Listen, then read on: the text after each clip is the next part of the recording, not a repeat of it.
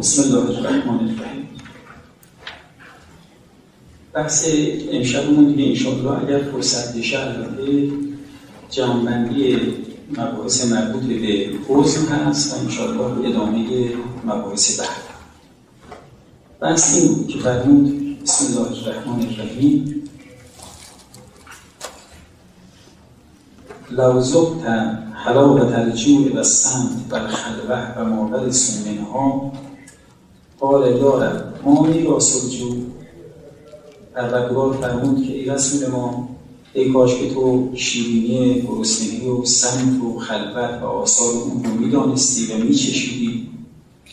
عرض می‌کند با پروردگار را آثار جوع چیست؟ فرمود الحکمت و حفظ القلب و تقرب الی و حسن دائم فرمود حکمت است و کنترل دل و تقرب به سوی من. و حسن دائم در زندگی.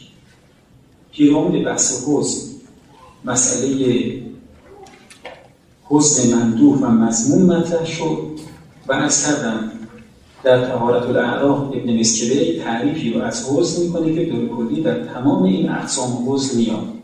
تعریف این بود که الحسن علم نفسانی یعرض لفقد محبوب او فوات مطلوب. اگه عبارات بقیه کم زیاد خوندن این درستش رو عزیزان کامل بکنن الحزن علم نفسانی حزن یک درد درونی که آرز می شود یعرض برای انسان آرز می شود به چه دلیل؟ لفقد محبوب او فوات مطلوب. یا محبوب انسان از دست می رود و یا مطلوب و خواسته انسان از دست می رود علا ایات به نظر برسد چون فوات مطلوب هم همون فقد محبوب است تفسیر بونه و الا یعرض للنفس چرا لفقد محبوب؟ خب. محبوب رو دفعه گذشته ارز کردیم. گاه ریشه محبوب در مرتبه حیوانی انسانی است که گفتیم این جامعه تمام حوزه‌های مضمومه که عبارت می شود از اینکه انسان مالی را از دست دهد. مقامی را از دست دهد. و خلاصه یک اعتبار اجتماعی را از دست دهد. این می شود فقد محبوب و در نتیجه محزون. و فقد محبوب در امور مرتبه عالی انسانی می شود حزن محبوب. که حالا توضیح شود امشب عرض بعد امشب خواهش می‌کنم چه بسا این مطلبی که دفعه گذشته اصلا در ذهنم نبود خدمت عزیزان. ولی به برکت امشب به نظرم اومد خدمت عزیزان بگم یه مقدار بحث پیچیده. ولی آثار بسیار فوق‌العاده‌ای رو هم در مسائل اخلاقی داره و هم پاسخ بسیاری از سوالاتی که پراکنده و بابا کردن اونها رو لذا عزیزان یه عنایتی بکنن بنده این تقسیم بندی رو که بر اساس همین تعریف ابن مسکله عرض می‌کنم این تقسیم بندی تمام انواع حزن رو در بر می‌گیره خوب دقت ببینید ببینید تعریفی که ما داشتیم چی بود؟ تعریف این بود. الحزن علم نفسانی حزن یک یه درده که چگونه به وجود میاد برای انسان به خاطر فرق محبوب. و اون عزیزانی که اوائل حدیث معراج یادتون باشه بودن اون فصل دوم که فرمود یا احمد صلوات الله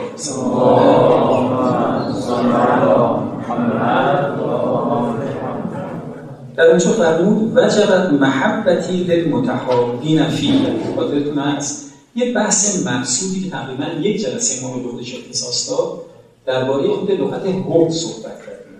حب محبت.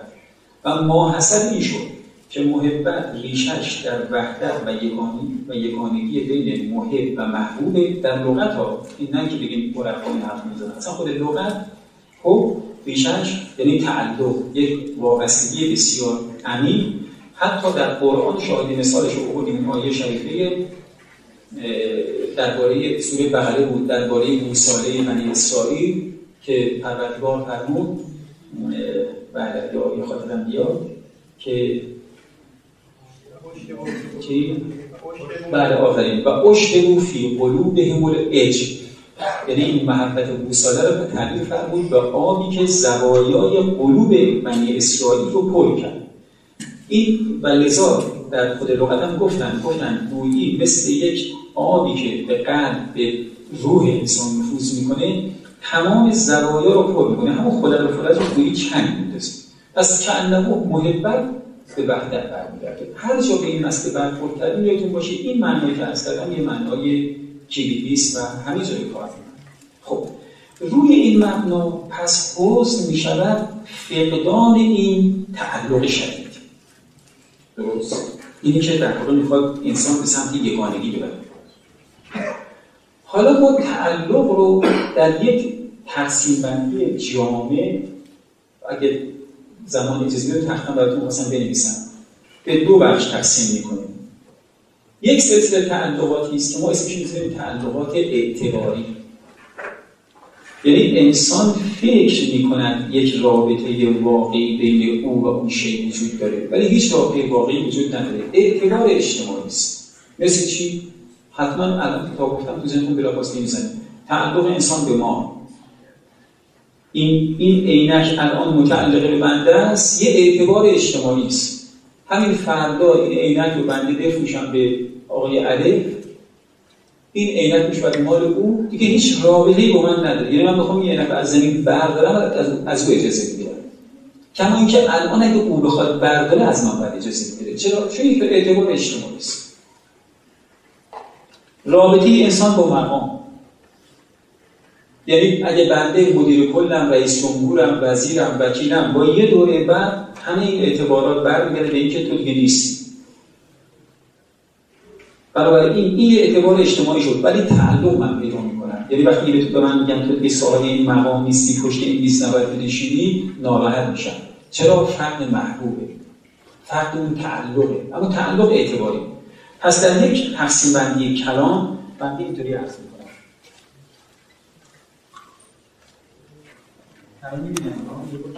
اعتباری است که اعتبار نیشگونی به اصطلاح بهش میگن. یعنی اعتباری است که غیر محض است. یعنی یه معنای واقعی خارجی داره اما در این حال که اعتبار است. حالا مثال که بتونم براتون خوب میشه. اعتبارات محضه مثل چی؟ مثل همون تعلق به ما. تعلق به مقام. این تعلق تعلق واقعا اعتبار. هیچ واقعیت نداره. اما در این حال قلب انسان جا می‌گیره خدا رحمت کنه موقع علامه رحمت این چیزی کلامه ایشون واقعا تا آخر عمر من ذهن من نیست. مال 30 سال پیش این بحث می‌کنم. اما تو ذهن من هست. می‌گفت اونی که می‌بینی وقتی آتیش سیگار آتیش مثلا زغال میفته رو فرش ابریشمش فریاد می‌زنه قلبش میسوزه. اما فرش که تو قلب نیست. اما این انقدر این تعلق اعتباری شدید شده که گویی این فرش تو قلب میشه. لذا آتیش تو فرش میفته اما میگه قلب آتیش داره. پس ببینید واقعا تعلقه اما اعتبار. این اعتبار اینقدر که تلقیم کرده تلقیم کرده تلقیم کرده که وقتی فرش رو در خود دوز می‌بره مثل که روحش دارن می‌بره. وقتی که فرش آتیش می‌گیره روحش آتیش می‌گیره و از این خب این میشه از دو تا اعتبار. اعتبار غیر محض اعتباراتی است که بازم هیچ رابطه واقعی حقیقی بین محبوب و محب نیست. اما یه منشأ واقعی داره مثل چی؟ مثل تعلق انسان به فرزند. مثل تعلق انسان به وابستگان فامیل ولی وابستگان نسبی ارهام. مثل پدر مادر عموم و دیگران. چرا؟ به خاطر که ببینید اصلا این ما میگیم رحم یعنی میگیم ارهام این به خاطر اینکه در منشأ خلقت به یک مادر برمیگردن به یک پدر برمیگردن. یعنی واقعا تعلق اینها تعلق واقعی است. منشأ خلقتشون از یک رحم بوده از یک مادر بوده. ولی بعد منشأ شد. اما الان در حال حاضر رابطه ابوت و بنوت که میگن رابطه اعتباری است. این پدر از این فرزنده است ولی فرزند پولیش بشه. پدر پولیش میشه؟ نه. پدر کافر فرزند مؤمنه فرزند کافر پدر مؤمنه تو های صدر اسلام پدر در این وری لشکر بود. فرزند تو این وری لشکر بود. پدر فرزند رو میکش فرزند پدر رو میکش هیچ رابطه‌ای با هم ولی در اصل یک رابطه اعتباری که واقعا به واقعیت برمیگشت وجود داره. اینها تماما در یک نگاه کلام فردشون میشه فرد محضی ببینید این تقسیم بندی درس کردم به این حساب گفتم یعنی اگر انسان در از دست دادن مال گریه بکنن یا قصه بخورن این نیم مثلا کما اینکه در فقدان فرزند و پدر و مادر عرض کردن اصالتا انسان قصه نباید بخوره. ولی خب دل میسوزه این دلسوزی شارع مقدس نه نمی‌کنه.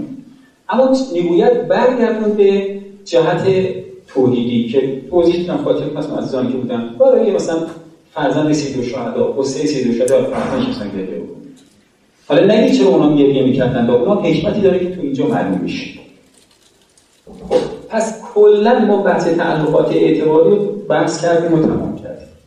می‌رسیم امروز بحث های تعلقای حقیقی. خوب دقت فرمایید من تقسیم بندی درس ببینید تعلقات حقیقی دایر مدار به اصطلاح فلسفی وجود یعنی یک رابطه حقیقی بین محبوب و محبت وجود داشته باشه. رابطه حقیقی کلا دائر مدار وجود است و لا دوم هم نداره.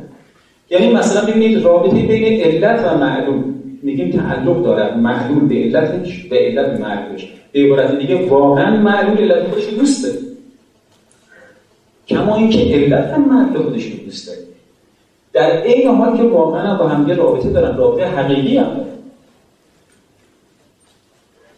تا میگن علت و مردم ذهنتون نره به سمت نقاش و نقاشی ها اونم از انهای روابط اعتباریه. موقع اعتباری مثلا غیر محض است. اعتبار واقعی اون نیست که در هر آن رابطه رابطه واقعی وجودی بین علت و معلوم بین دو شیء محبوب و وجود داشته خب طبیعا خواهید فرمود که خب تعلقات حقیقی یک بیشتر نیست. ولی ما ریسک که بکنیم ببینیم چهار لاقل مرتبه رو می‌تونیم در وجود خودمون حداقل بسنجیم عین من برمیگردم مباحث توحید ببینید اول تعلقی رو که وجود داره تعلق بین انسان و بدنش هست. به عبارت دیگر رابطه بین روح اگر روح رو حقیقت انسان بگیریم تعلق روح به بدن. از همین مبنا می شود جواره بدن. تعلق ما به دست تعلق ما به چشم تعلق ما به بدن. تعلق واقعیه. چرا؟ به خاطر اینکه واقعا بدن ما اگر از این روح جدا بشود یه بدن دیگری نمیشه و چه رابطه واقعی بین دو هست. حالا بحث های عمیق فلسفی در اینجا به خصوص بر اساس حکمت متعالیه اصلا معتقدن اینها که بدن مرتبه ناظری از روح انسانی است. که دیگه اصلا کاملا این بحث رو حل اونی واقعا رابطه رابطه حقیقی میشه. ولی حتی بر اساس حکمت مشتا هم که بگیریم علا حال روح یک تعلقی به بدن داره ولی به تعلق مثل پرنده به قفس ولی علا حال این تناسلی با هم داره که اگر این بدن رو از این روح جدا کنیم بدن دیگری مسلم نخواهد شد. پس این تعلق تعلق حقیقی است. این شود نازلترین مرتبه تعلق.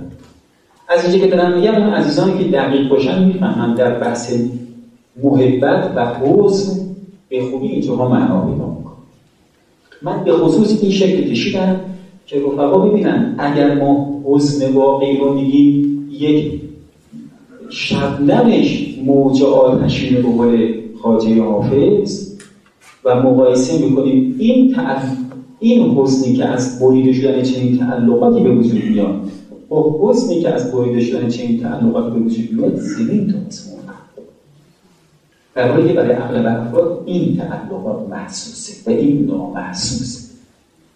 این تازه انزل مراتبش. حالا میریم بالاتر.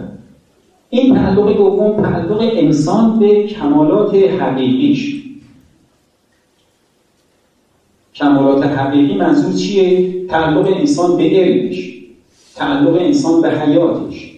تعلق انسان به قدرتش این دیگه واقعا یه رابطه واقعی است.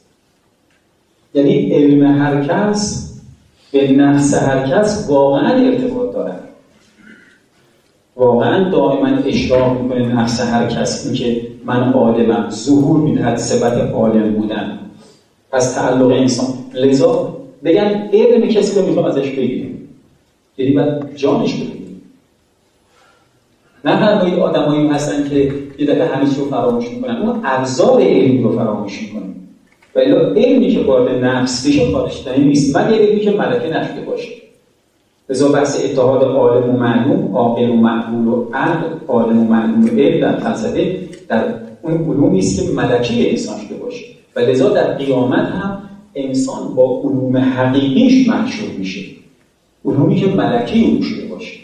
و لذا از همینجا می‌خوام یه حاشیه بزنم که اون کسانی که توحید براشون ملک نشده باشه توحیدشون توحید عرضی و همین یه چیزی شنیده باشن اینا معلوم نیست در عالم قبل قیامت موحد منشور میشه. ما یه به اینایی بربرده داریم قالو کن نامستحضرین افبه از قابل علم تفرز الله واسع. یرجون لامر الله و خدا حالا چیزی باشون معامله کنه اینطوری. ها این می‌شود یک مرتبه ولی تازه ببینید این مرتبه دوم از تعلق دقت کنید من دیگه مرتبه سوم و چهارم صرفا می نویسم دیگه هر یک از عزیزان به اندازه که دیگه می‌تونن بگیرن حالا توضیح مختصر بدم ولی توضیحش خیلی بسته ولی در نوع تعلق و خانگی مال این مراتب. نه مراتب بالاتر. حالا مرتبه سوم و چهارم کدوم تعلقی انسان ببینید در کلام قضیه من بگم بعد بنویسم ببینید بارها تو این جلسه عرض کردم انسان رو خداوند در مقام خلافت اللهی خلق کرد. این صریح آیه سی و دوم سوره بقره است. حالا بنا بر دو نظریه برخی مثل مرحوم ملا صدرا معتقدن که این مقام بالقوه بود. انسان باید با تلاش در دنیا و زحمت و تعبد و تسکیه و تحصیب و اینها. این مقام را کسب کنن برخی مثل مرحوم علامه طباطبایی و حضرت استاد و دیگران مرحوم متحررین حق در کتاب فطرتشون معتقدن این مقام هست محجوب شده انسان از این ولی در نتیجه یکی چه بگوییم محجوب شد؟ خب بایستی با تسکیه با تعبد با عبادت این حجاب رو برداره. کما که فرمود بر کلا بر ران علا به ما کانیت رانه یعنی رین یعنی بر قلبهای اینها حجاب آمد. این حجاب رو بایستی ما برداره برای دیگه مثل مرحوم مولا صدران میگن لقد اخرجكم هو الذي اخرجكم من بطون امهاتكم لا تعلمون شيئا و جعل لكم السمع والابصار والافئده لعلكم تعقلون انسان هیچی نمی‌دونست به قوه داشت سمع و بصر و فعال رو قرار داد به اونجا برسن حالا هر کدوم استدلالایی دارن هر کدوم در خودش هم حرفی دارن. من نمی‌خوام بگم کدوم درسته ولی علا ایها از این مقام برای انسان مقام حقیقی. چرا؟ چون فرمود انگی جا فل از نفرمایید این مال هست آدم. اگر مال هست آدم بود ملائک بر شخص آدم سجده می‌کرد. در حالی در سوره سال میفرماید انی خالق بشر همون بشر رو میفرماید فیضا سبیت او و نفخت فیه من روحی فقط له سجد ای ملائک این بشر رو که من رو خودم دمیدم در برابر او سجده. پس آدم یک سمبولی بود از ابنای انسان. و در روایت داریم که امکان دارد که خداوند امر کند بر آدم ابو بشر سجده کنید وقت رسول اکرم سجده نکنید یعنی این مقام به پیغمبر داده نشد به آدم داده شد. قطعا پس این مقام مقام بود که بالقوه حد اقلش برای همه انسان قرار داده شد. و مقام واقعی انسان. چون خداوند انسان رو به ملائکه به این مقام معرفی کرد. نفرمود انی اخلق ناطقم انی اخلق متفکرم انی اخلق عاقلم سجایای انسانی است هیچ کدوم اشاره نکرد فرمود انی اخلق انی جائل فی چون جعل معنی خلق است از این جهت انی جائل فی الارض انی خالق فی الارض خلیفه پس می‌تواند رابطه بین انسان و مقام خلافت الله او گویی رابطه بین انسان و حقیقت خودش باشه. یعنی مرتبه عالی خودش باشه. خب اگر اون به هر علتی این رابطه قطع شد. چقدر اگر من اینجا 500 هزار تومنم گم میشه شب خودم نمیره. اینجا 500 میلیارد میلیاردم میشه مقایسش کرد. خودشو گم کرده. عجیب تو من شد و زالته کمال امیر المومنینه. من تعجب می‌کنم از کسی که وقتی چیزیش گم میشه این هم برمیگرده داده هوا می‌کنه تلفن می‌کنه. شما انشاءالله سر کس نیاد. بچه آدم یه شب گیر از خونه میاد هم زمین آسمان به هم میریزه. رابطه رابطه اعتباریه برای اعتباری غیر است. خودش یه عمر گم کرده یه شب نه یه عمر گم کرده یه تلفن نمی‌کنه که آقا خاکی سلام بکنیم آقا داری میمیریم دیگه تموم شد. نمیفهم حرف زدیم. نمیفهم امیر مومنی می‌فهمم می‌فهمه با الناس و نیا آدم خواب و هم که میگه میگه زدی خواب عمیق باشه بیهوش بگید دیگه. اصلا نمیفهم فاذا ماتو از بیهوشی نمیگه انتبه لذا مرتبه سوم رابطه انسان بنده چند تا دیگر هم معلومه اینجا میشمارد من دارم که بحث فلسفی بسیاریم کنار. ولی یه دفعه از مرتبه دوم اومدن مرتبه آخر. آخر از ما قبل آخر رو اون رابطه انسان با حقیقت انسانی خودش. همونی که میفرماد ولا تکونو کالذین نسوا الله. دنبالت چی هست؟ فانساهم حقیقتهم کندم فانساهم انفسهم خودتون رو به خودتون میفراموشانید چون تو ما رو فراموش کردی. خب کیه که خودش فراموش کنه؟ حتی انسان دیوانه انسان کودک کودک هم خودش فراموش نمی‌کنه.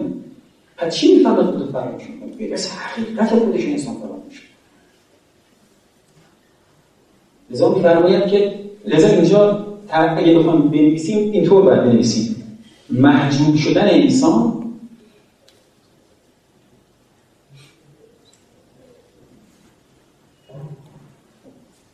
از مراتب عالیه خود که من کلی نوشتم. حالا این مراتب عالیه خود شما معنا کنید به انسانیت خود معنا کنید به مقام فطرت توحیدی خود معنا کنید به مقام خلافت الله. حالا چرا بنده خود احتیاط می‌کنم خلافت اللهی آخر نوشتم؟ چون خیلی ها که خیلی خوش می‌خوان برخورد کنم میگن مقام خلافت اللهی منحصر در ائمه معصوم در این میگه بسیار خوب این که من عرض کردم نیست. بسیار خوب. تجلی مقام خلافت اللهی برای اولیای طاهری بود. خودشون فرمودن بیاد به این مقام نزدیک بشید. ولقد لکم فی رسول الله اسوه حسنه اسوه یعنی بیاد بیاد شما خلیفه الله بشید. اگر راه بسته بود که نمی‌گفتن. خدا رحمت به استادو ایفرمودشون شما یک ماه ما رمضان روزه می‌گیرید. گناهان انسان پاک میشه. شب قدر همه گریه اوزاری می‌کنید. چه می‌کنید؟ چه می‌کنید؟ چه می‌کنید؟ بعد میگن تازه. شب فطر دعا کنید که فردا ما به شما می‌خوام جایزه بدیم. انیق دو را جوایز الله. صبح کنید بدید می‌خوام بهتون جایزه بدیم. و واقعا جایزه میدن هر به همه من معتقدم ما رمضان حتی اون کسی که روزه بدون شرایطش گرفته بالاخره برای خاطر خدا یه تشنه گرسنه کشیده که یه جایزه بهش میدن خداوند کریمتر از این است که کسی روزه بگیره بی جایزه در نشه اون وقت در روز عید فطر شما جایزه رو که نماز بدم دیگه. شما در قنوت نماز عید فطر بعد از اون همه دعاها اون همه قسمها اون همه مقدمات قوس کردن های صبح روز عید فطر تشریفاتش رو ببینید. ما چی می‌خوام؟ خدا غیر از مقام خلافت الهی می‌خوام. اللهم انی اسألك ان تدخلنی فی کل خیر ادخلت فیه محمد و آل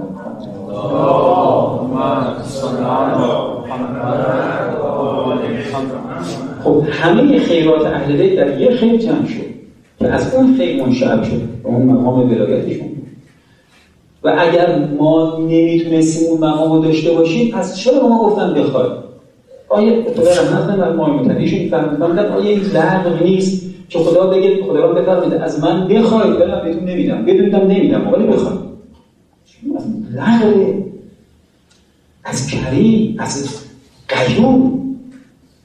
مناسبت نداره که ما بگیم چیزی را بخواد مثل اینکه مثلا به گوسفند بگیم که ای گوسفند از ما بخواد که حرف بزنی. ولی بدون که تو استعداد حرف زدن نداری. خب اصلا معنی نداره من گوسفند بگم تو حرف بزن. به بچه میگن حرف بزن و حرف نمی‌تونه بزنه. یه حرف دهنش می‌زنه یه خود اول کوتاه بلند بلند. تو کم کم میشه یه سخن ولی آدم عاقل رو گوسفند به ایمان به گاه گوسفند نمیگه که حرف بزن سخنرانی کن. چون استعداد نداره.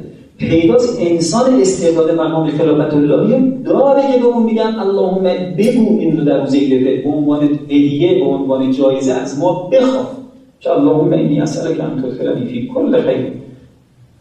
اللهم انی اسالک خیر ما سالک منه عبادک الصالح. بهترین چیزی که بندگان ساده که در رأسش ائمه علیهم السلام و رسول اکرم هستن خدا چی می‌خوام؟ غیر از مقام خلافت اللهی می‌بینید؟ پس این من اینو با احتیاط گفتم علیرغم این همه ادله که وجود داره که نه این مقام مقامی است که برای همه است. میگیم نیست. حداقل مقام افتدال توحیدی مال همه است. که دیگه تردید نمی‌کنه. آیه 32 آیه 30 سوره روم که صریحا میفرماید فاقم وجهک للدین حنیفا فطرت الله التي فطر الناس ولی این یک مقامه. خب این مقام پس پیداست حقیقت انسانیت. این رابطه با انسان رابطه حقیقی است.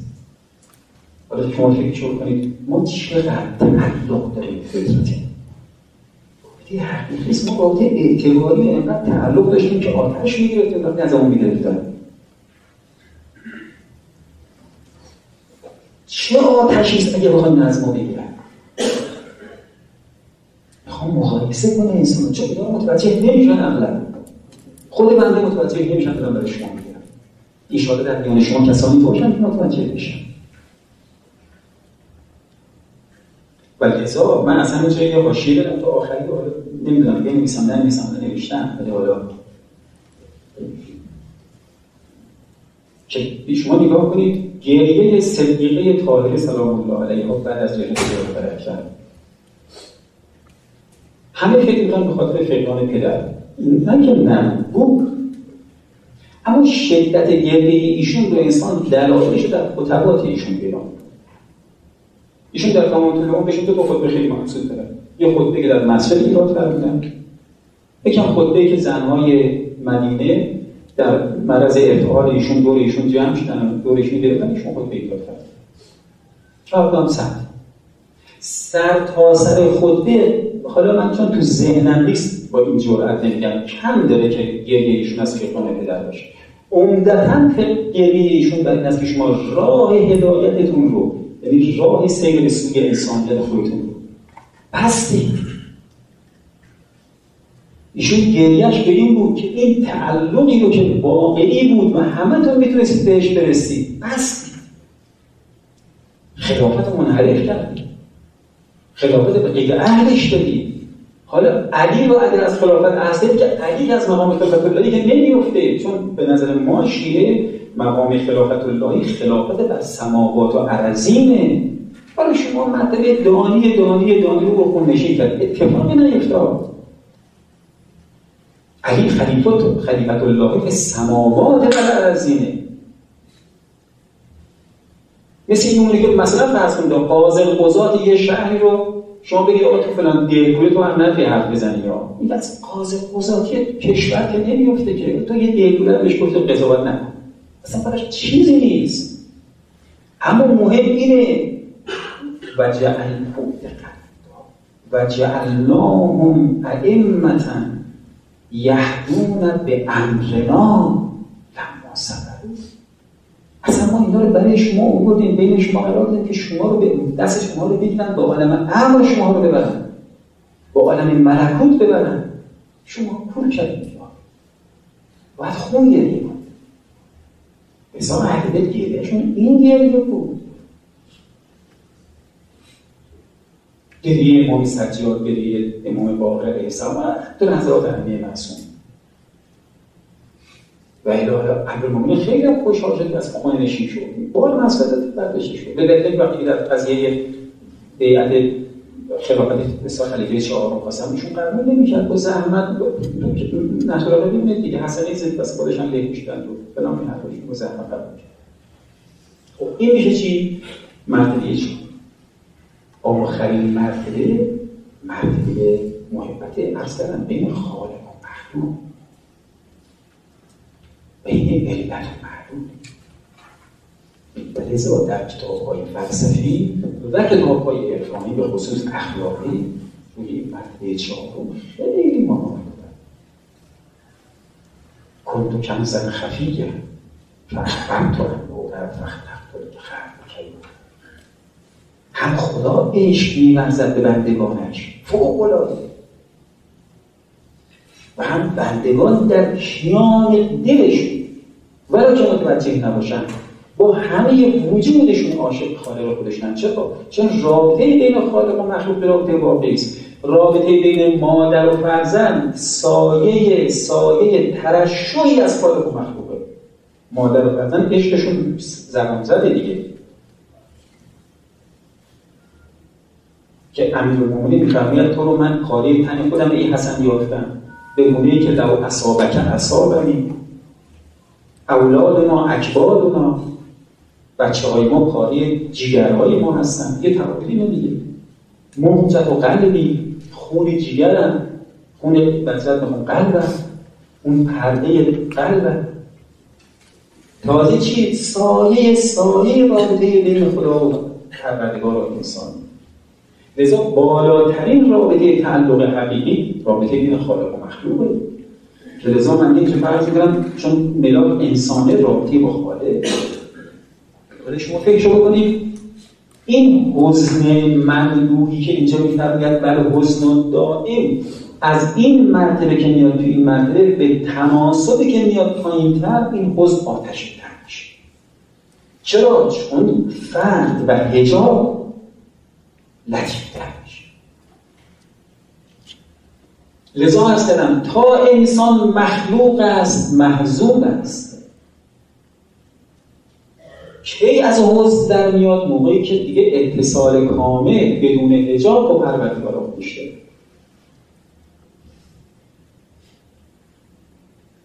این شعر خیلی زیباست یادم رفت که که در میان بنی آدم باعث قصه همیشه هست دائمی است اون که قصه نداره یا آدم نیست یا در این عالم نیست. مثل یعنی یا شخص از مرتبه انسان بودن خارج شده و دیگه به مرتبه عالی نفس مطمئنه رسیده در مقام وسال تام. او دیگه با در, در کنار از طرف یا اصلا دیگه تو آدم نیست. حالا آدم نیست این معنی که اصلا حیوانیت اومد آدم یا تو این عالم نیست من عکس گفتم. یا آدم نیست از انسان بودن خارج شده. یا تو این عالم نیست وارد عالم ملکوت شده. لذا روایات باب حوز من دیدم از بحث خارج میشون فوق العاده است. که خدا یکیشون براتون میگم هست یحیی علیه السلام نحمد من گریه کرد در باب حوز در باب عشق پروردگار میگم کوچ خطاب اومد که یحیی واسه چی اونقدر گریه می‌کنی؟ اگر از ترس آتش جهنم ما جهنم رو بر تو حرام کردیم اگر عشق به بهشت مطمئن باش تو وارد بهشت میشی پس یه فرام پربار پروردی برو گردی میاد به خاطر فردان تو.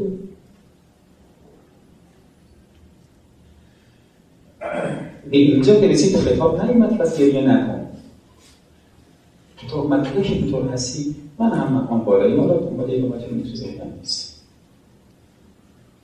تشویق می‌کنم به این حوز تشویق می‌کنم به اینکه شما گریه حضرت یعقوب علیه السلام ببینید تو این مراتب بود البته تو این مراتب بیان که گفتم دلیل داره یعنی اگر غیر از حضرت یوسف برای حضرت یعقوب بود اینقدر گریه ایشون نمی‌کرد. صرف بلد بودن نبود. تو این رابطه میومد یعنی گریه بر فقدان یک نبی فقدان یک وحی میومد تو این فرد لذا گریه سید شهدا و هست در یک رسال به خاطر یک فرزند نبود. چون اشبه الناس خلقا و خلقا به رسول الله بود. حساب داره.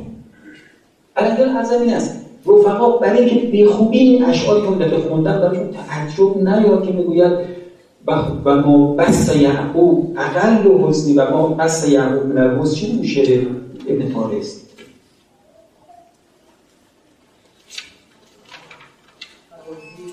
آه بله من و بله من و حسنی ما بله بله. و حسنی ما یعقوب و بسته اقله واقعا تعارف نیست. چون شما دیگه من این حسنم چنین حسن نیست. خیلی با این فرق یا اونجا که می‌گوید فتوفان و مهم اندن نواهی که ادمایی با این که از کردم در میان کلمات اهل معنا این اشعار دریا دریا معنا داره بی حساب نیست. این حرف باز که دهش حسابیه این فرمودید خب.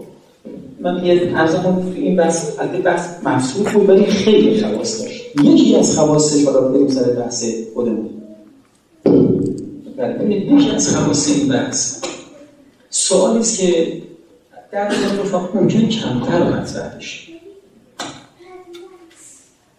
کمتر مطرح بشه. ولی یه نفر از من سوال کرد. ولی بعضی از سوالات رو من مطمئنم که اگه از شما من بپرسم تایی دلتون این سواله ولی خجالت میشه این سوال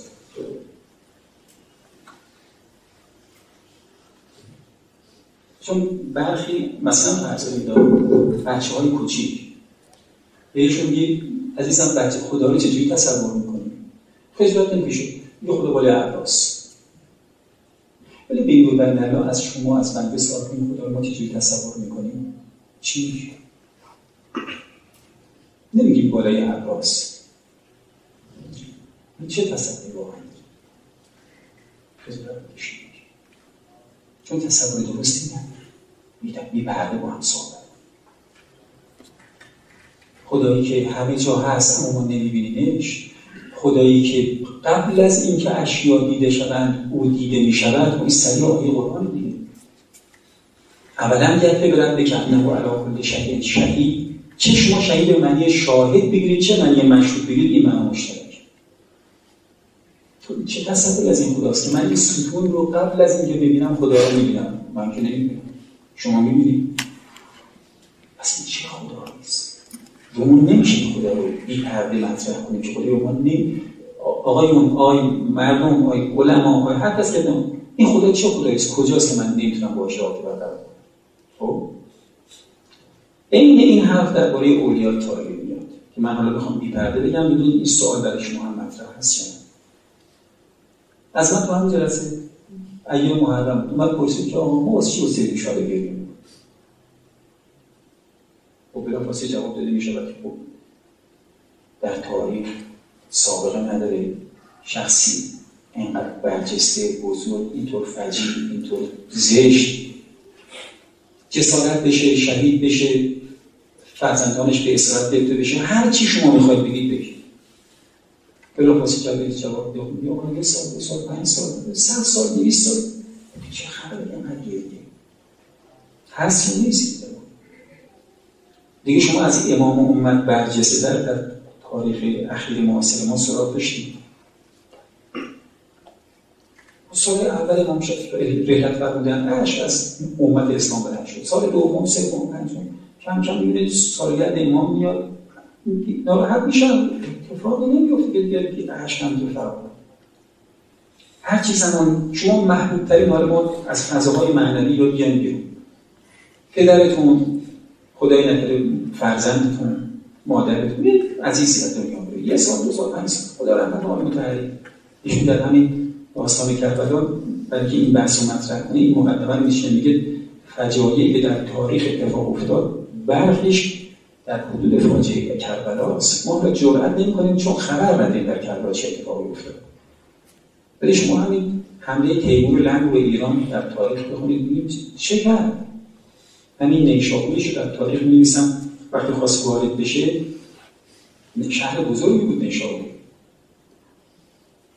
بزرگان شهر حالا بیسفیدا دور هم من گفتم خب ما که یعنی تا مقاومت نداریم. یکی پیشنهاد کرد گفت بیا تمام بچه های شیخاره رو در مسیر سپاه تیمور هم تو زمین کنار هم هم بلکه یک هزارم اگه خیلی یادم ره باشیم بچه های شیخاره رو که اینطور معصوم هستن متوقف میشه ما که کاری جزیه می‌خواد من خراج ما از اونم بهش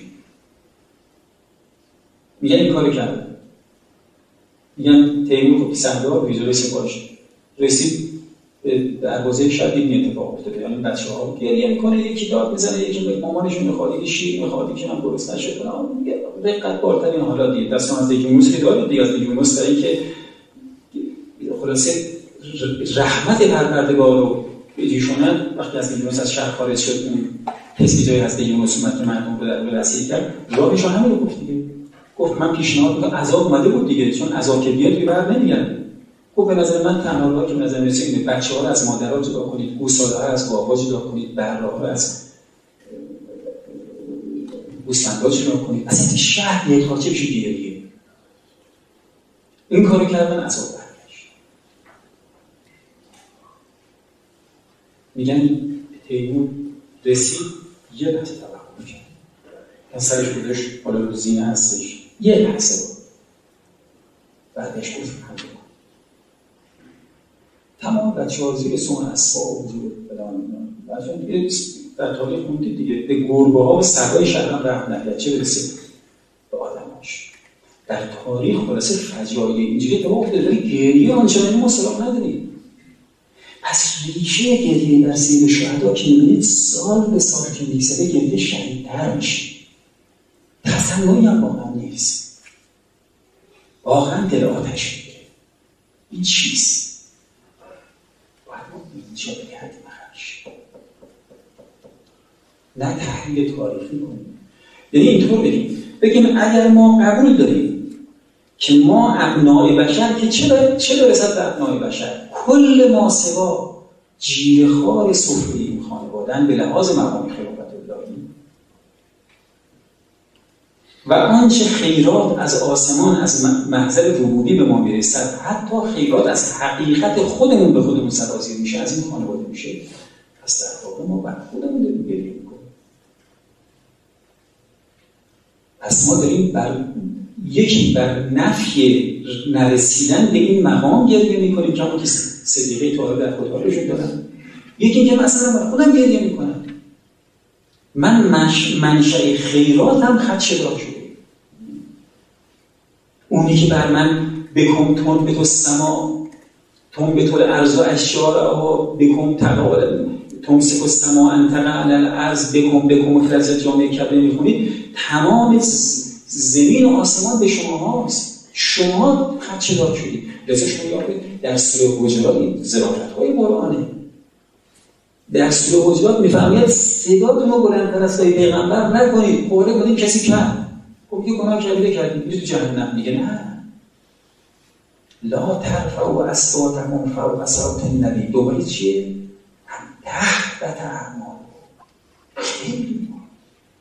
کافر میشی کل اعمالتون نابود میشه. چرا؟ من یه صدا بالا در کاری نکردم نه جسارت کردم. نه ایمانم رو دست دادم نه کفر. نه سب ندی رو کردم صدا رو بالا در میگم تحت اعمال چرا؟ چون اینقدر مقام عظیمه که تو جسارت به مبدع گویی فیض الهی کردی. این مقام شوخی نداره. تا چه برسی که تو بخوای شمشیر بکشی تا چه برسی بخوای جسارت کنی؟ تو بخوای اسارت چی چی چی می‌خوام ارز کنم اینا بر هم فهم این مطالب برمیگرده که من حقیقت خودم.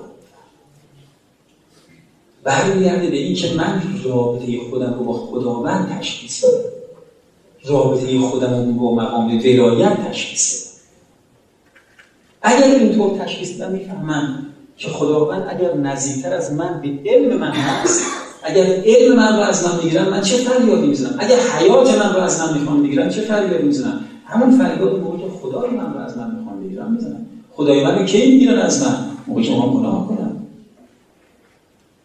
چون میفرمیگرد گناهکار هنگامی که گناه می‌کنن کافر است. و هم یرون اهل دنیا کلام مولا در نهج بلاغه است. و هم یرون اهل دنیا یعظمون موت اجساده ببینید حوز در این مرتبه. حضرت مال نمیگه چون مال ارزش نداره حضرت دیگه میگه قصه اهل دنیا رو این اولیاء الهی می‌بینن موقعی که آدما میمیرن. پدرش میمیره بچهش میمیره مادرش میمیره نمی‌دونم عموش میمیره فامیلش میمیره برادرش میمیره. ولی و هم اشد و اعزاما حزن اینا موقعی سیل موت قلوب احیانه موقعی که میدن قلبهای زندهشون قلب زنده که میمیره موقعی که در معنیز گناه قلب زنده کی میمیره موقعی که تحقیقات دنیایی رو به کرده باشه. و همینطور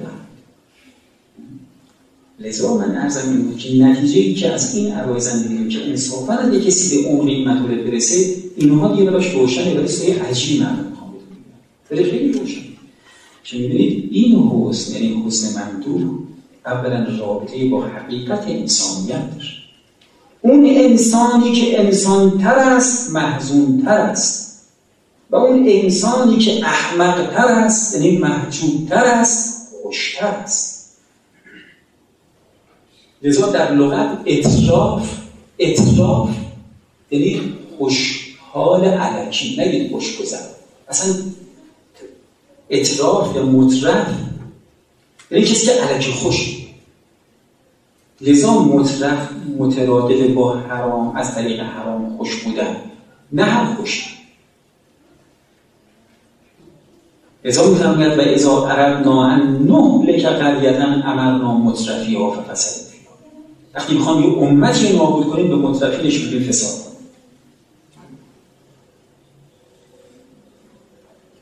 یه ملاک خیلی کامل. یعنی این ملاک استثناء بردارم نیست. که حسن ممدوح رابطه با حقیقت انسانیت داره. هر کس به حقیقت خودش نزدیکتر محسونتر دو رابطه تنگاتنگ این حسن با توحید و فطرت توحیدی انسان داره. هرچه انسان رابطهش با پروردگار عمیقتر محسونتر و عجیب اینه هرچی رابطه این حسن طوریست که هرچی نزدیکتر میشه حسن اما لذت بخش خیلی عجیبه با.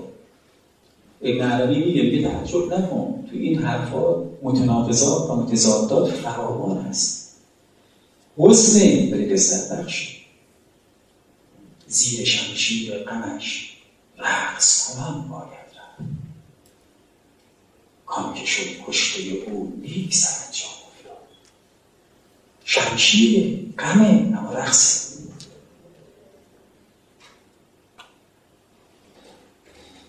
سه این حزن دائمی است. چرا؟ چون ریشه حزن اعتباری نیست. ریشه حزن حقیقی است. تا زمانی که رابطه انسان با حزن رابطه حقیقی است یعنی رابطه وجودی است دیگه قابل انفکاک نیست. لذا انسان فکر نکنه که حالا یه موقعی که محزون نباشد. نه اتفاقا موقع مرگ انسان قطع حیات انسان است که از انسان برداشته میشه که معلوم نیست نظر من. یعنی در برزخ هم حزن هست در بهشت حزن نیست. ولی در عالم برزخ هم حزن هست. رو همین مبنا عرض تا زمانی که به عبارت روشن تا زمانی که هجاب هست حزن هست. چون بینونت بین محب و محبوب هست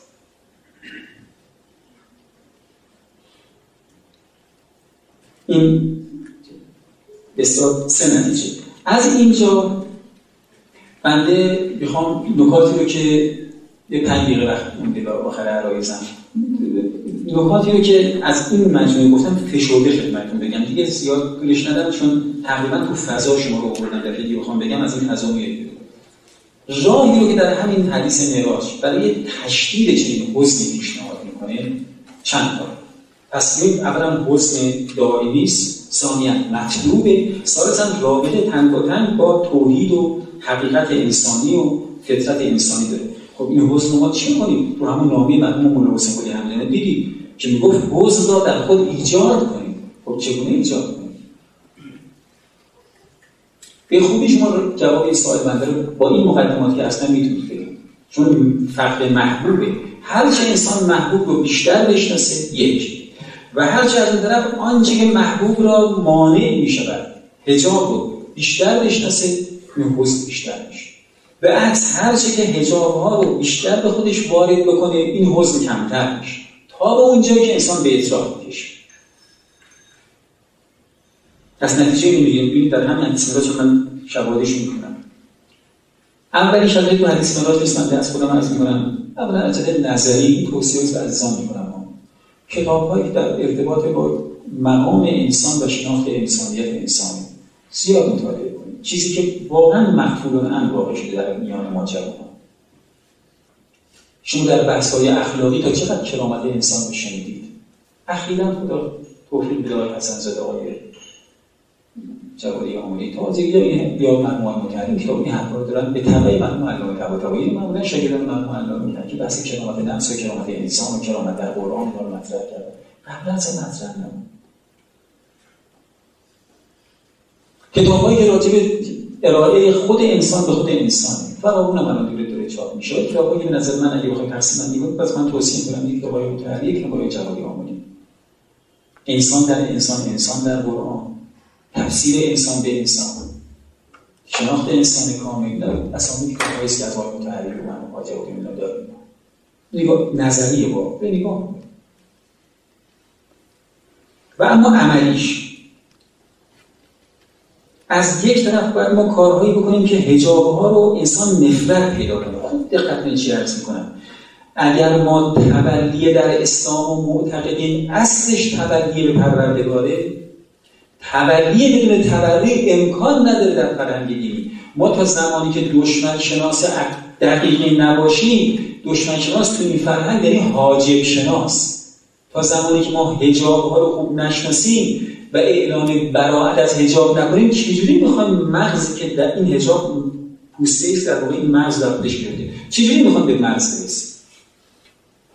واقعا مسئله نمیاد این کاری که امروز خیلی از آقایون تو حیات می‌کنن. هی علی علی حسین حسین شعر همش ولایت ولایت. آقا تو یه وقت می‌بینی همین ولایت در دامن دشمنه. تو دشمن اول بشناس. بعد از دشمن فاصله دیگه وقتی می‌تونه طبیعی در دامن ولایت قرار اول تبری خود شیطان شناسی است. من نمی‌خوام بگم اسرائیل. اسرائیل خاله زیر شیطانه. اول تبری شیطان شناسی است. بعد جون شیطان. در قرآن من قرآن هست کردم. فرعون شناسی نمون شناسی قارون شناسی. ها اون چه از یا هامان ابن وزیر فرعون. نظیر نمون. اینا رو انسان در قرآن بشناسه این تقدیه چقدر کار میشه؟ بعد میاد تو مراتب پایینتر شیاطین امروزی که خب یه ما اسمشون زیاد میشنویم ولی عمل کرداشون واقعا ما نمی‌شناسیم. خلاصه این میشه چیز؟ هجاب شناسی و بعد دنیا و متعلقات دنیا. در که دستور عملی داریم ما. مثلا که توصیه میشه به اماکن خراب برید و نگاه بکنید این برای اینکه آخر دنیا رو انسان بشناسه. کم طرف من جنان و عیون و عناب و نخیل. نه اینکه بریم مثلا تختمش رو ببینیم به عظمت ایران باستان ببریم تو رو از حضرت در چه واسه؟ ببین ببینیم که بابا کوروش داروش این مقامات اونطوری بودن. چی شد؟ تاق مدائن رو امیرالمومنین دارد ببینیم. بعد بفهمیم که بابا اهل مدائن بودن. چی شد میفرمایید؟ یعنی خلاصه عبرت گرفتن از آباد دنیا. این همین توصیه شده است. عیادت سالخوردگان بیماران مساکین فقرا. چرا؟ چون اینها انسان اعتبار برسن بابا تو هم 20 سال تو یه پیچ زندگی شل بشه این میشه بیمارستان اینطور زمین گیر میشه این اثرات معنوی داره که انسان قول میده به سمت رفع حجاب. و از همه بالاتر زیارت اهل قبور. خیلی توصیه شد. مرحوم ماستری آقای قاضی ایشون میفرمودن من هرچی دارم از باد اسلام دارم. نه اینکه از امیر ندارم یعنی کرامات و اون چیزاشون از باد اسلام دارم. ایشون ساعت ها مثلا اون سو باد اسلام چه می‌دید چه اتفاقات اینجا برایشون افتاد؟ خدا می‌دونه. ولی از یاد اهل توصیه شده. همین روایت همین کتاب خودمون صفحه 248 کتابایی که کتاب دارن ملاحظه کنم. این صفحه 248 این همین روایت شماره 330 یا این قال اوحى الله الى عیسی ابن مریم یا عیسی حد لی من عینک الدموع و من قلبک الخشوع و کل عینک بمیل الحزن ازازه کرد بطالون معناش متوجه میشی؟ که خلاصه گریه کن. فراوان برای من کشف بریز مقام بکاری در قیامت عزیزان از بالاترین مقامات انشاءالله بعدا مفصل بحث کنم به مناسبت و قلبت خاشع باشه. و خلاصه چشم تو با میله چی میگم با اون سرمدان و حوز بکشی. خلاصه چشمت محزون باشه قصدا باشه. موقعی که بدتالی میخندن. و و قوم علا قبور الاموات. گریه کن. نه برای اونا گریه کن. برای خود مثلا من من واقعا رو می‌کنم. شب اول من واسه درس دارم؟ من شما می‌پرسم. یه با هم دیگه بحث واسه چی اینقدر میگن شب اول من نه سیر شوهر به فریاد برسه آخه شب اول من چه داره از قبر میترسیم. از چی چی قبر میترسیم؟ از تاریکیش میترسیم که واسه شب و روز نداره اونجا. از چی میترسیم؟ غیر از این است که از گناه خودمون میترسیم شب تا اون گناه که الان همراه من هست. همین امشب که من می‌خوام بخوام شب اول سخنهای چون ما رو کشتمت ما رو کشتم گردد و دیگیرد دومت. خب اون سخنها که شب اول قبل نمید من داره یه ذهن یندم میگه زید من بدبخت بیهوشم. چه نمی‌فهمم؟ اگر باهوش بودم مثل باهوشان من وقتی بهتون می‌گفتم وقتی انسان یه غیبت می‌کرد چه اتفاق برش می‌گفتم امام امام امام امت ارز روزی طلبه ها در حضور ایشون از یک از مناجع بخشون غیبت کردن والله این که ارز می‌کنم بیان کسی که من نقل کرد می‌گفت امام دو شب ترک کرد. درس نیومد. بعد فردا شد بعد گفت من نمی‌دونم شما می‌خواد چه جواب بدید. غیبت وای وای وای غیبت وای وای اونا می‌فهمن غیبت خودش سکان جهنم بودن یعنی چی؟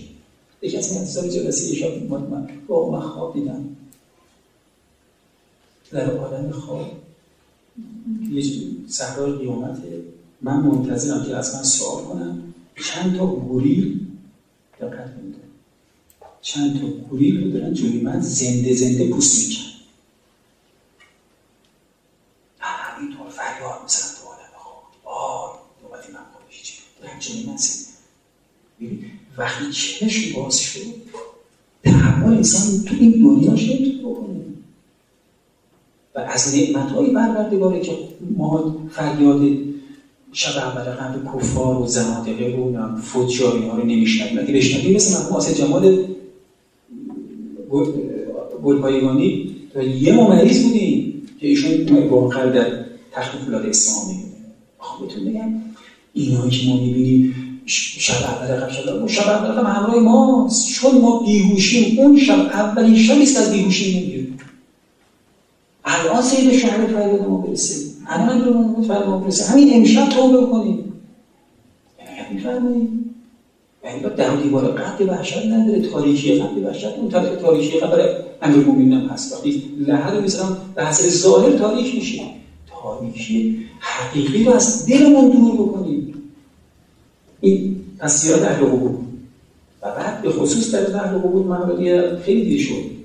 حکمت 130 نحس برابر از آن بخونن اصلا آتش می‌گیره که اگه مومنی وقتی به اسیریات اهل قبول می‌رفتن چی میخوندن؟ یا اهل القربه یا اهل التربه یا اهل دیار الموشن انتم لنا فرد و نحن انشاءالله بکن دارون اما دور فقط سکنت و اما الانبال فقط قسمت. و اما النساء فقط نکهت هذا خبر ما عندنا فما خبر ما ای مرده ها ای اهل وحشت تعارف نداشتن تو ای اهل غربت ای اونایی که تو سر جنده هم دیگه می‌ذارین حالا منظم مرتب کنار هم خوابیدین 20 اسباب تکونم نمی‌خورید خونه هاتون تقسیم شد نشستم توش. خونه هایی که چند دندو به هم نشون دادید اموالتون قسمت شد. خدا رحمت کنه والده ما رو. گفت من به چشم خودم دیدم پدر مرد تو ورسه دعوا شد شیشه ترشی رو. عزیزان من شیشه تو رو گفت برسه اومدن. خالی که گفتم یه پیاز مال تو یه پیازش مال یه سی زمینی توشی مال تو این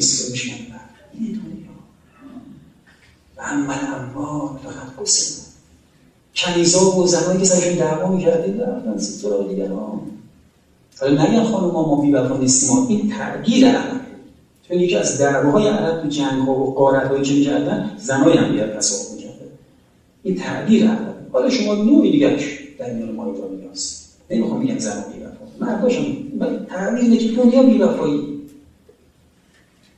بعد میفرمید حاضر خبر. من اخبار دنیا رو بگم بدم ببینم شما چه خبر. و ما خبر ما این نکن بعد حضرت برمیگرد که یارو میفرمید لو ازن لهم فی کلام اگه به اینا اجازه می‌دادن حرف بزنن؟ بهتون می‌گفتن خیر و تقوا یک کلام نمیده تمام میشه. خیر و صاب زیارت اهل قبور. بعد تفکر در احوال قیامت یقول حسرت روایات باب قیامت عزیزان بخونید. کتابایی که راجع قیامت بخونید. رسول اکرم میفرماید اگر شما از قیامت به اندازه که من می‌دونستم می‌دونستید یک نفرتون تو شهر رو بند نمیشید. و فرنتم ال از سعدات بیابونا سر فرار گذاشتید. از حول تکون. که من وارد نشم وارد این که این همه درباره قبر و شهر بخش شب اول قبر داریم رسول اکرم میفرماید این ساده ترین منزل بعد از مرگ شود وای به عقبات دیگه یه اصلا گفت آقا همیشه میگه گفت شب دیدم. مردن قیامت شده به سم. دارن حساب کشی می‌کنن. همطور رسید رسید بود گفت ملائکه در خاطر مونده من گفت هم دارید رسید نوبت من گفت من مهندر نیستم. من خب بگو ببینم چیکار کردی تو. بگو من شد دروغ گفتم گفت مثلا فلان چیکار کردی؟ هی دروغ دروغ دروغ دروغ. هر چی پرسیدم خوباشو گفتم اون کارو نکردم خلاف رو نگفتم. نمی چی نگفتم. نگاه می‌کرد و من می‌گفتم نگاه می‌کردم یه دفعه میگفتش که این کتاب رو اینجوری برگردون رو شما این نگاهی بکنید. اقرا کتابش. گفت من نگاه کردم هر چی دروغ گفتم راستش می‌تونه میشه هر چی خلاف گفتم راستش گفت خجالت کشید گفت عالم خواب خجالت کشیدم عرق کردم. خجالت کشیدم. گفت عرق کردم عرق کردم. کوچیک کشیدم کوچیک کشیدم کوچیک کشیدم. می‌دیدم که دارم کسی در عرق و خجالت رو. اینقدر کوچیک کشیدم که یه آب شام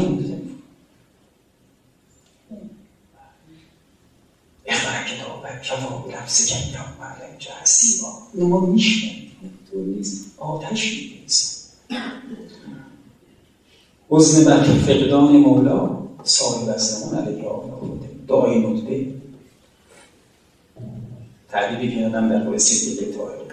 آقای بهجت میفرمودن حزن ما بر فقدان مولا حزن مستقنی نه حزن آدم مستق چجوری بال بال می‌زنه با آتش می‌گیره می‌کنه. چرا؟ ده بسته است. اگه واقعا معنای ما زمانمون بوده بدبخت بودیم. نه وقتی که آمریکا سرمون مسلط نبوده اون که چیزی نیست. بدبختی که در آسمان به روی بسته است. این بدبختی اسناست شست سال اومدی در نشد. اگه مولا بود راهنمایی می‌کرد در به سوی عالم هم باز می‌شد به برکت ایشون عنایت ها زیاد می‌شد در بسته است. بی خود نیستم رو مونیتور گریه می‌کنی در فقدان رسول اکرم نحوه رو نگاه کنید. انقدر بشد الوحی جلوهای دیگه پایین نمیاد. و قد شد. قصت من دیگه تون دارم میرم حسن بر شهادت و فقدان حادیه به عالم امد یعنی در واقع حسن بر فقدان اهل بیت علیه السلام و آخرین مرتبه بر خود که من معتقدم این همین حسن بر خود که دیگه توضیح ندارم. خب. دیگه من بحث حزن رو با همه طول تفصیلش جمع کردم. پس نتیجه نمی‌گیریم این که میفرماید رابطه تنگاتنگی بین جوب و حزن هست که اینجا فرمود. میراث سوم بود چهارم بود چندم بود؟ میراث چهارم بود که فرمود ما میراث وجود فرمود و حسن دائم خواستم عرض کنم که معلوم می شود یکی از آثار حزن مندوب این است که انسان شهوت شکم نداشته باشه. چون شهوت شکم مقدمه صاحب شهواته و شهوات یکی از اجابهای بسیار زخیمه این هم ربطش به این بحث. اگه توفیق بود برای جلسه بعد اون دو فقره بعد که زیاد به طولانی نیست. سریعتر رو کنیم خلفت المعامت بین الناس و قول الحق و برای و بالی و آشم دوستن درست رو عرض سلوات خیلی ببریم